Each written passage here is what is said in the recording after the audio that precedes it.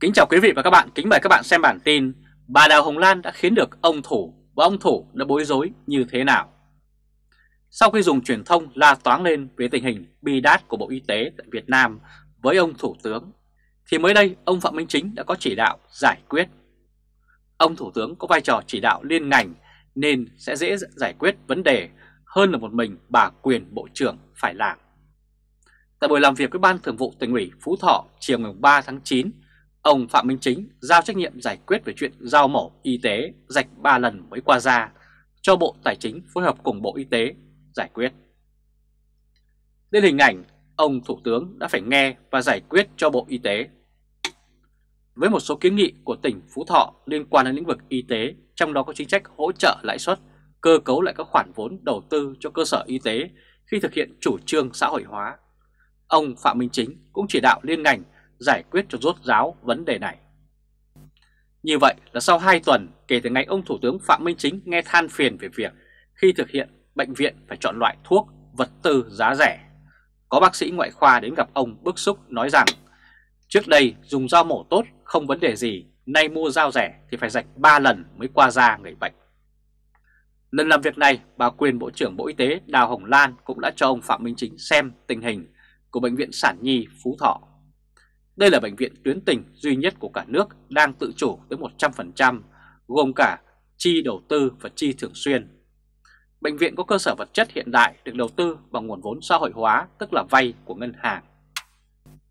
Nhưng sau thời gian hoạt động do Covid-19, một số nhà đầu tư lại phải rút lại cam kết, bệnh viện này đã gặp rất nhiều khó khăn. Với cách cho ông Thủ tướng thấy tận mắt để chỉ đạo liên ngành của bà Đào Hồng Lan, xem ra rất hiệu quả. Các vấn đề của ngành y tế hiện nay, ông Phạm Minh Chính cũng đang kéo Bộ Tài chính vào để cùng giải quyết. Nhiều người đánh giá bà Đào Hồng Lan làm việc hiệu quả hơn ông Nguyễn Thành Long trước đây. Bà Nguyễn Thị Kim Tiến cũng đã từng để lại cho ông Nguyễn Thành Long một mớ hỗn độn ở Bộ Y tế, nhưng ông Bộ trưởng này không giải quyết mà còn làm cho nó trở nên nát hơn. Vụ chính phủ đòi rút 800 tỷ của Bộ Y tế chuyển cho Bộ Giao thông Vận tải bị chặn lại, không biết đã có bàn tay tác động nào của bà Đào Hồng Lan hay không, bởi cơ quan chặn khoản tiền này chính là Ủy ban Thường vụ Quốc hội. Đây là hình ảnh làm khó bà Đào Hồng Lan rồi lại giải thích. Việc chính phủ chuyển 800 tỷ đi trong khi Bộ Y tế đang gặp rất nhiều vấn đề khó khăn cần phải giải quyết là cách làm không hợp lý. Để giải thích cho vấn đề này, phía chính phủ đã nói rằng ngân sách giao cho Bộ Y tế là 14.000 tỷ đồng, vốn đầu tư, thời hạn giải ngân trong 2 năm 2022-2023 Đến nay gần 13.200 tỷ đồng được phân bổ cho 144 dự án, còn lại 802 tỷ đồng.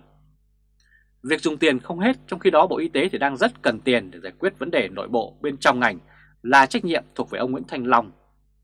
Đáng lý ông Phạm Minh Chính để cho bà Đào Hồng Lan khắc phục những bê bối dưới thời ông Nguyễn Thanh Long thì ông Thủ tướng lại vội vàng chuyển đi gây rất nhiều phê phán trên mạng thì ông Thủ tướng cho giải thích một cách hết sức lúng túng. Có lẽ nhiều bộ trưởng khác cũng cần phải học bà quyền Bộ trưởng Bộ Y tế, quần cho ông Thủ tướng phải toát mồ hôi ra như thế, để ông Thủ tướng đôn đẩy xuống cấp dưới thì mọi chuyện sẽ hỏng đi. Và để đôn đẩy việc cho ai thì là chỉ đạo liên ngành. Những bế tắc của ngành y tế trong nhiều năm qua là thiếu sự chỉ đạo liên ngành.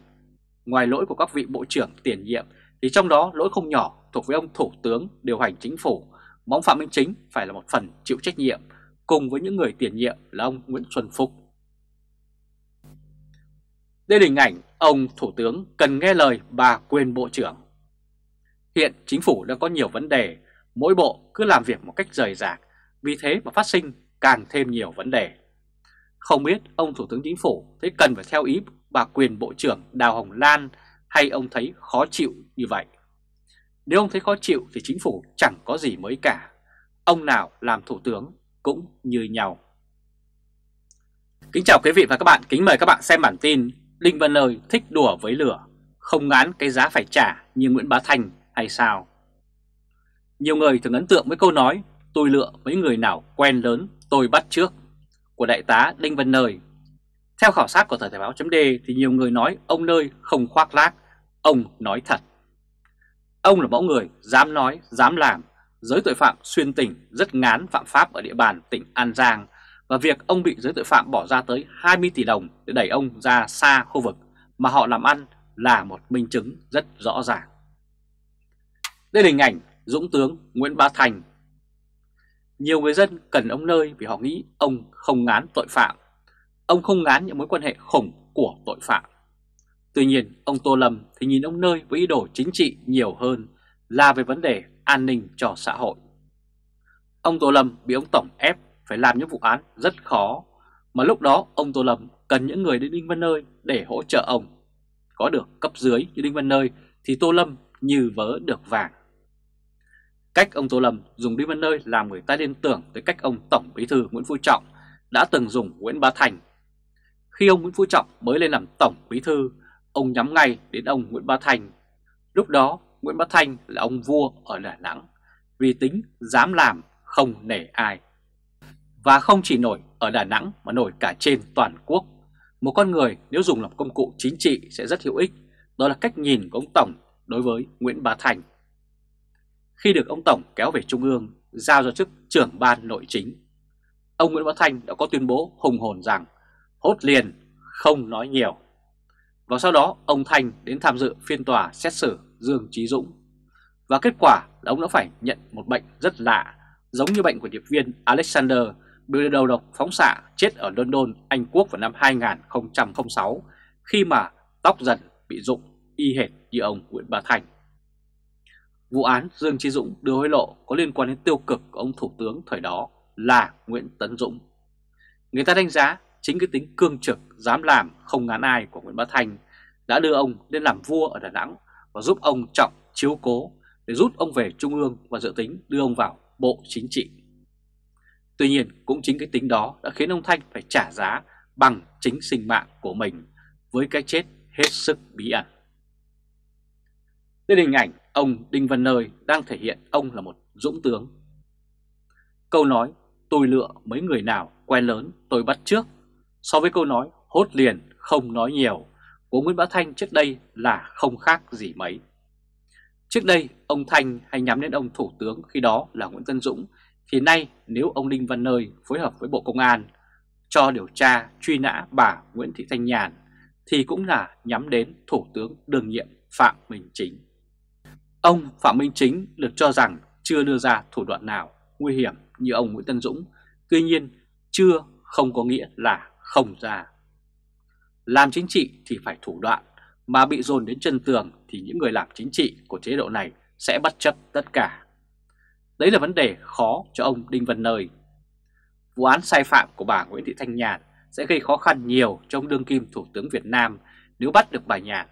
Tuy nhiên, hiện nay bà Nhàn được cho rằng đã cao chạy xa bay và trốn ở phương trời Tây nên rất khó bắt bà về quy án. Bà Nhàn không thể nhìn thấy tấm gương trịnh thân xanh và bà đã trốn thoát một cách đầy kịch tính ra nước ngoài. Và chính khi ra nước ngoài mà la toáng lên thì sẽ bị ông Tô Lâm xác định mà bắt cóc. Còn bà Nguyễn Thị Thanh Nhàn thì im lặng thì Tô Lâm cũng khó có thể tìm ra bà đang ở đâu để bắt về. Đây là hình ảnh cả ông Tổng Trọng và ông Bộ trưởng Tô Lâm đều dùng dũng tướng cho mưu đồ chính trị của mình. Vấn đề ông Đinh Văn Nơi khó xảy ra như Nguyễn Bá Thành bởi nhân vật chính là Nguyễn Thị Thanh Nhàn đã trốn. Nhưng biết đâu Tô Lâm lại có thể hóng tin và bắt cóc được thì chiều hướng lại thay đổi. Khi đó bất lợi trong đương kim thủ tướng sẽ hiện rõ và lúc đó không có gì đảm bảo an toàn chống Đinh Văn Nơi. Trò chơi chính trị bao giờ cũng là như dùng con dao hai lưỡi. Nhất xanh cỏ, nhì đỏ ngực. Ông Nguyễn Bá Thành nhiều lần đỏ ngực vì dám nói, dám làm trước khi ông bị xanh cỏ. Đó chính là bài học lớn, không biết ông Đinh Văn Nơi có nhận ra hay không.